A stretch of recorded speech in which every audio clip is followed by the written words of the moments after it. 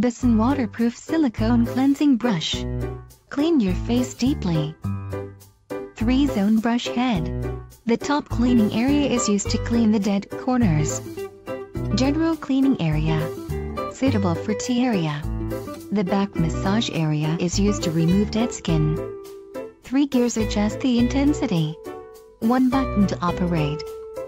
Ultrasonic high frequency vibration. Can deep cleaning.